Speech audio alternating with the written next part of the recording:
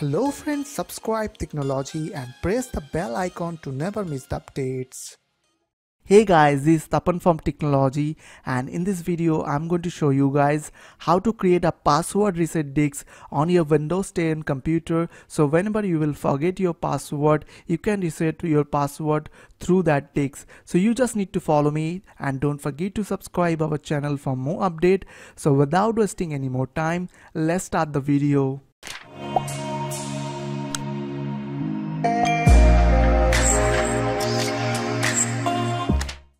So at first you need to insert one pen drive on your computer one USB drive. So I have already inserted my 15 GB pen drive over there. As you can see here is my USB drive.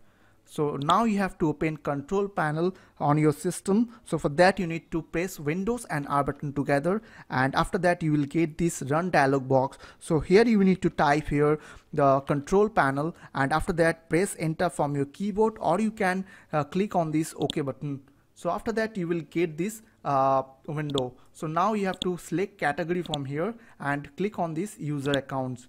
So now after that click on user accounts. So here you will get all your users. Like if you will click on manage accounts so you will get all your users. So you have to select uh, your user which you want to create a password reset disk so here is my user as you can see.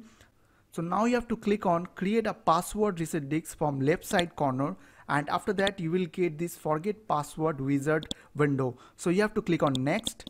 And after that from here you have to select your uh, USB drive. So in my case it is J as you can see. So here is my USB drive is J 15 GB so after select your drive and click on next. So now you have to put your current password your current computer password.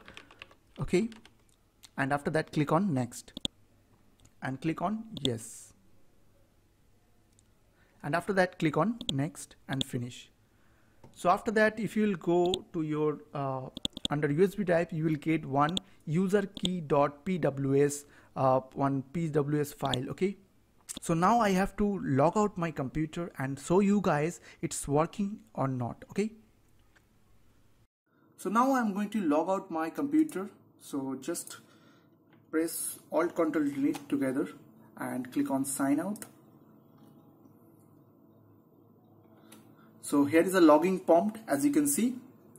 So now if you will click on any any wrong password over there you will get this uh, window. The password is incorrect try again. So click on ok. So after that you will get one reset password button over there. So click on reset password. So now as you can see one password reset wizard is showing over there. So you have to click on next button. And after that you have to select your USB drive from here and click on next.